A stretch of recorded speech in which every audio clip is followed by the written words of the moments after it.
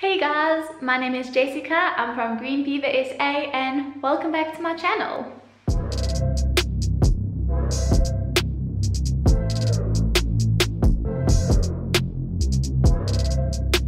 Today I'm going to be doing something a little bit different. I'm going to do a vlog style video and see how it goes.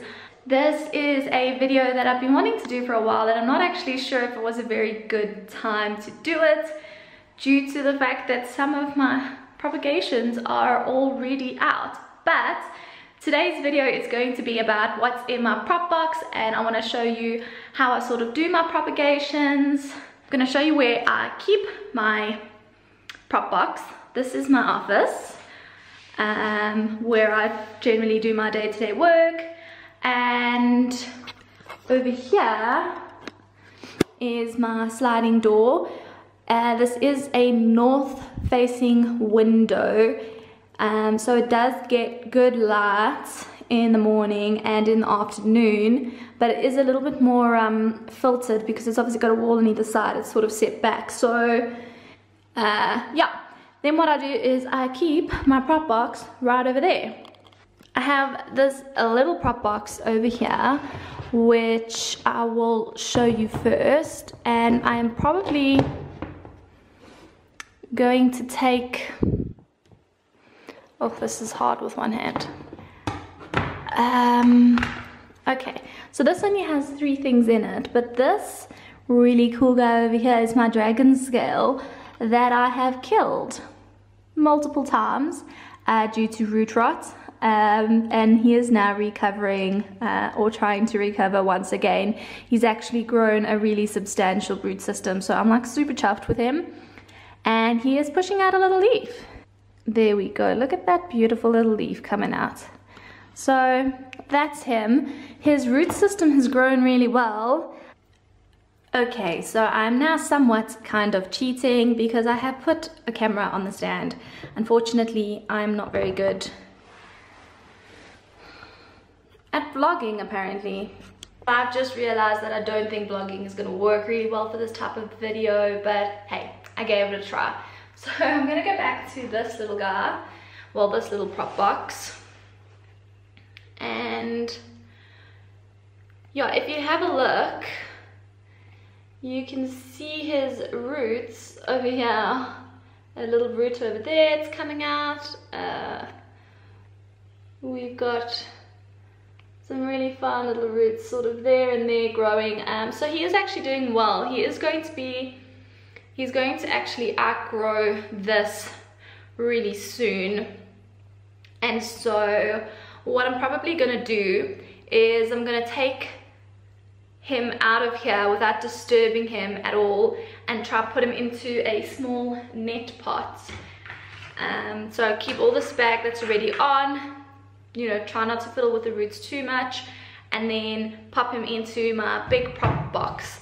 Um, the reason for that is obviously he's not going to fit in here anymore, but I don't want to change too much at once. So I still want him to be in a very humid environment. I still want him to be in the spag. Um, and then maybe when he throws out a leaf, then I might put him in leca and then slowly take him out of the propagation box. Then another thing I have in here, which I can't remember where I put it. Oh yeah. It is a little bulb, which I don't think is actually going to be doing very well. It doesn't, it hasn't done anything. So I don't know if it's, um, you know, let's do it like this. I don't know if he's actually dead. I converted my Alocasia rubra to leca and I found two bulbs so they're in here um, none of them have done anything yet so so yeah as you can see there's this long stem at the bottom. Um, I face him down on top of some spag and then I put some spag on top. Um, but he hasn't done anything, so we'll see what happens. Then there's also this guy in here, which my sister gave me a cutting of. And I don't know what it is. I'll ask her. Okay, so then, this big guy over here, who is quite big, uh, he sits here most of the time. I do have holes that I've drilled in the top, which I'll show you.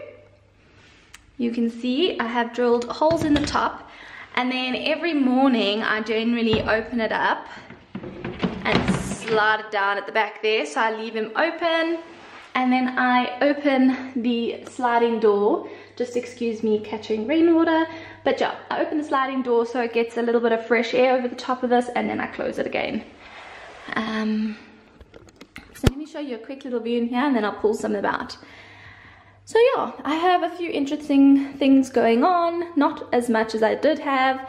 Um, so yeah, let's pull out a few. The first thing that I'm gonna pull out, which is really, really cool, is my Monstera Peru. It was a cutting that I bought. Um, it hadn't opened up any of its leaves other than this one, and so I've thrown it into the propagation box.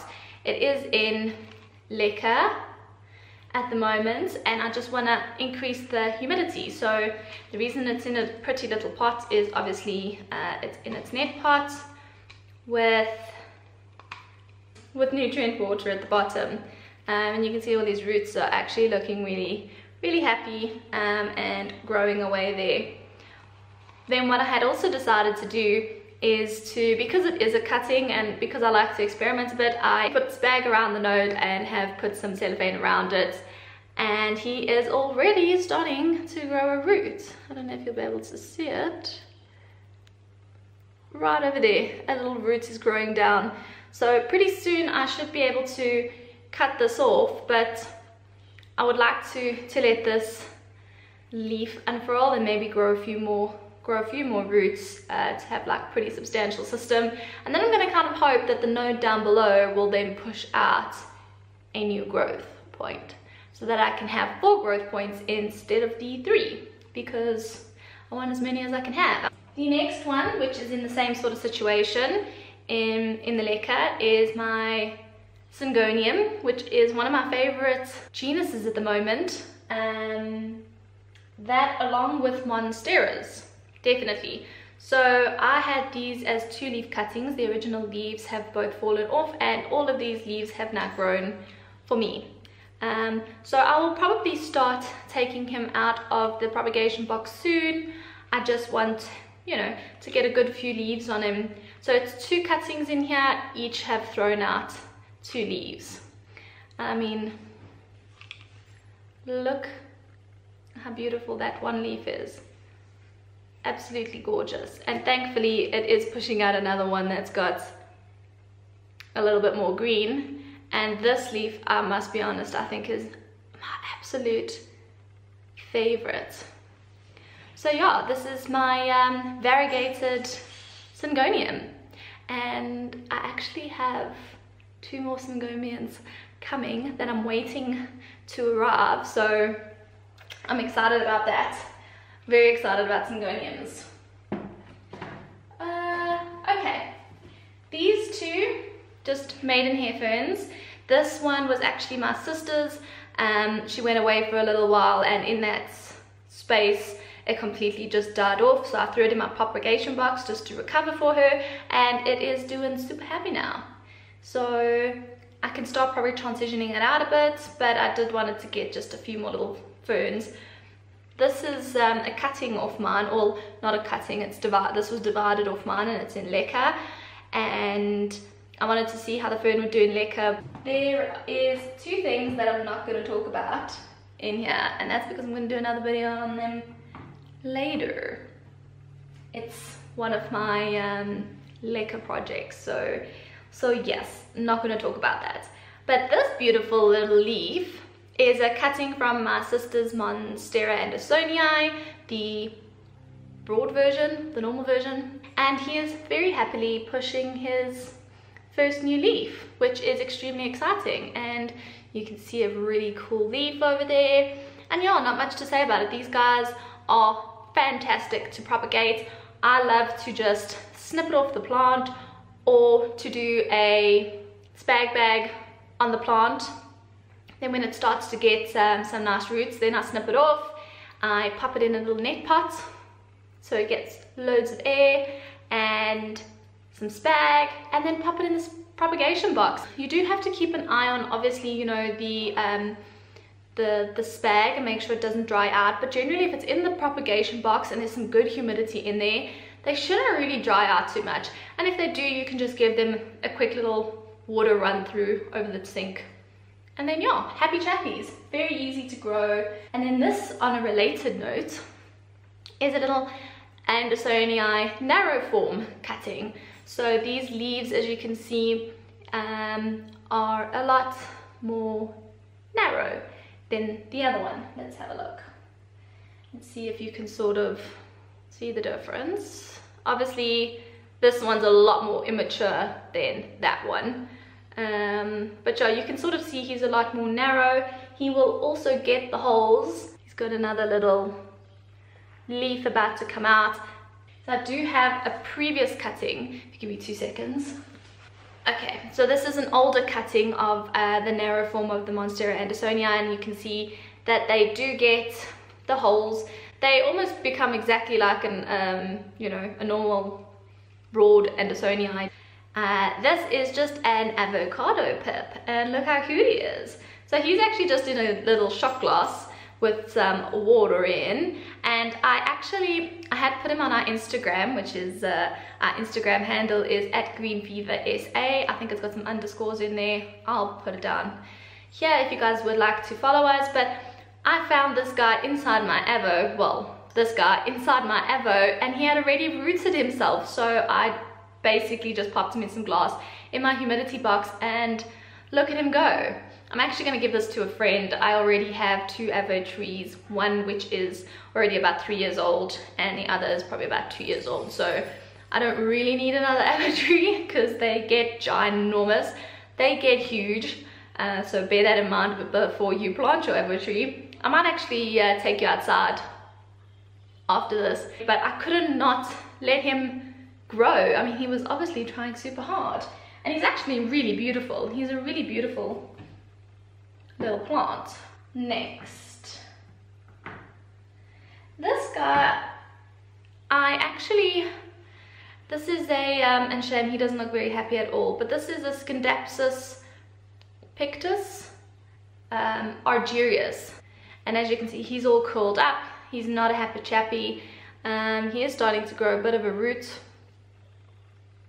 on that node from being in the propagation box but I actually cut him off the main plant. I, I actually have another one propagating in water and then I have the main plant uh, back in soil but in a clear pot um, but I left only one leaf on him. And he just wasn't doing well. Um, he didn't have root rot. When I checked the roots he didn't have root rot but he kept curling up even after I'd watered and he still is. So I'm really honestly I have no idea what's going on with him. If the camera falls it's because my cat is being crazy. Um, both of them are. If you can hear that running around that's my other cat playing with her toy.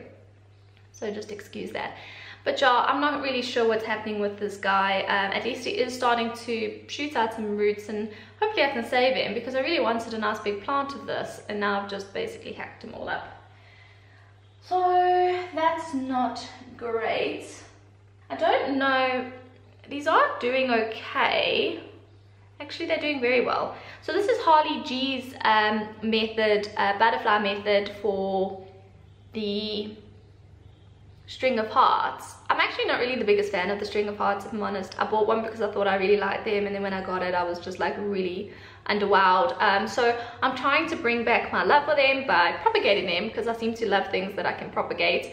I'm trying to bring back my love for it and I want to make it extremely full at the top of the pot. So I've actually got two of these guys growing in the prop, prop box. I'm not going to show you them both because they're basically the same thing but yeah, doing really well. They uh, This is all new growth, all this green stuff that you can see. So he's um, quite happy with being in the prop box.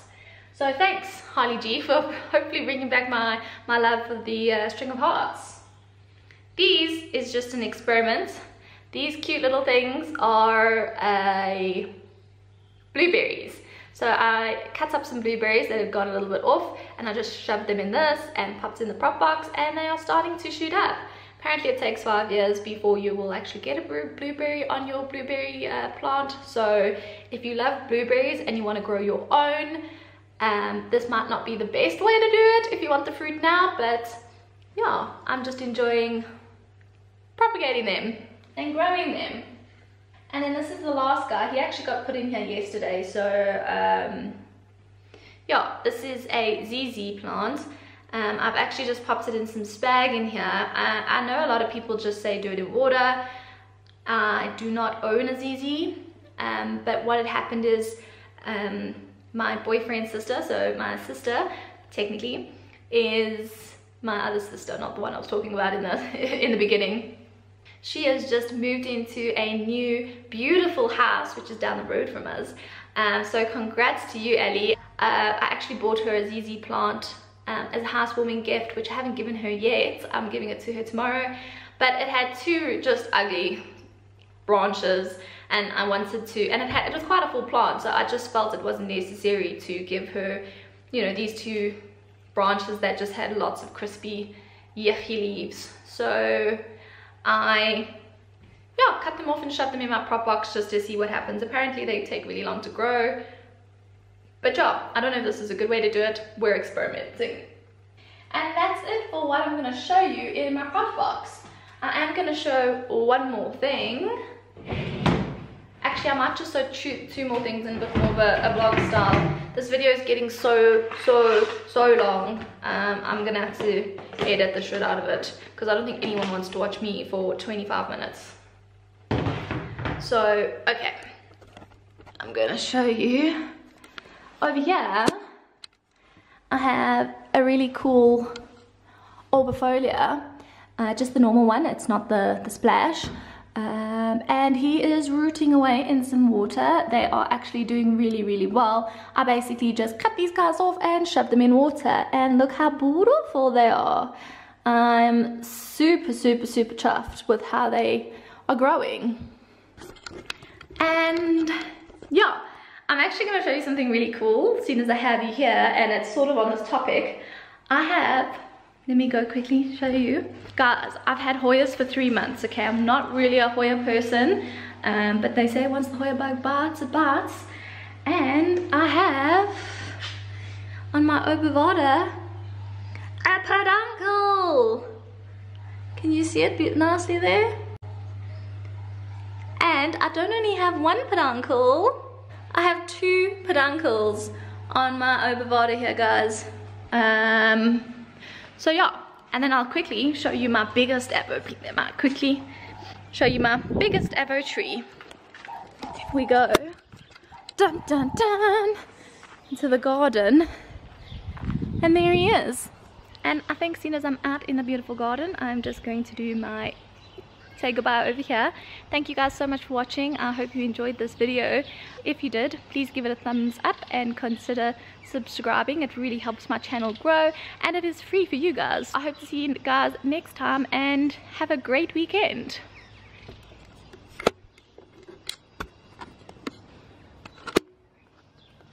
Hello beautifuls